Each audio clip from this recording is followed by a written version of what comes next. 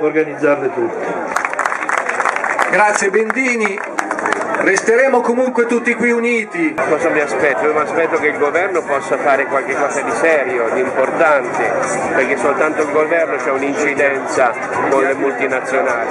Noi che possiamo fare? Noi possiamo soltanto dimostrare e toccarli un pochino nell'immagine, ci rimane solo questo, perché l'immagine oggi è la dimensione fondamentale della comunicazione, forse li può turbare il fatto che la loro immagine viene un pochino ferita, viene un po' umiliata, vedendo una massa di gente, ecco perché bisogna essere uniti e molti, anche molti. Speriamo che queste due dinamiche, la dinamica dello stare insieme, dell'unirsi e del viaggiare insieme per recuperare una solidarietà e la dinamica di ferire un po' l'immagine di queste multinazionali che sono, perdonatemi, sembrano dei lo voglio dire, ma c'è nella mente una parolaccia terribile perché non sono in favore dell'uomo, sono in favore della, del denaro, sono in favore de, de, dell'economia.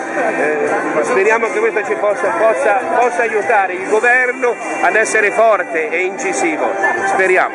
Don Claudio, lei è stato 26 anni qua dentro, sì. quanto è cambiata la fabbrica, il mondo operaio? Totalmente, è indescrivibile, indescrivibile. Perdona, ci stava molto meglio col cosiddetto padrone di un tempo, molto meglio. C'era molta più capacità di dialogo, di relazione, potevi guardarlo anche in faccia, potevi dirgli anche una parolaccia, potevi anche trattarlo male, ma almeno parlavi con una persona. Adesso con chi parli?